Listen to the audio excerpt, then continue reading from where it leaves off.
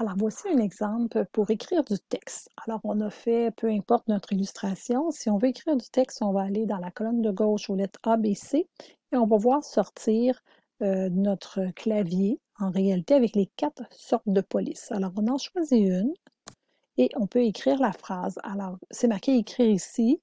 Je vais marquer, hein, euh, c'est par exemple, je vais toutes lettres majuscules, c'est le printemps. Alors, on prend notre clavier et on clique. Si je veux, on voit que l'enregistrement est automatique. Si je veux déplacer, je prends un doigt et je le mets à l'endroit où je veux le mettre. Si je voulais le mettre en plus gros, je peux prendre deux doigts, venir pincer et venir le déplacer pour le positionner au centre. Alors, c'est la façon de travailler. Alors, on peut écrire du texte. Une fois qu'on sait que c'est correct, on clique sur le crochet en bas pour confirmer. Si on n'était pas satisfait, on clique sur le X. Euh, je vais vous montrer aussi comment on peut aller chercher un cercle, par exemple, pour faire le soleil.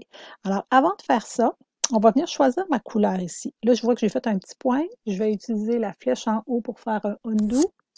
On va choisir la couleur. Je vais venir choisir le jaune.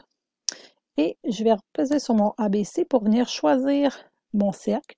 Je peux prendre deux doigts et le rapetisser et là, je pourrais venir illustrer, par exemple, mon soleil et avec « je confirme que ma forme est correcte » en appuyant sur mon crochet et je pourrais venir y tracer des petits rayons. Donc, c'est vraiment l'utilisation de écrire et avec des formes géométriques. Alors, je vous souhaite beaucoup de plaisir avec cet outil.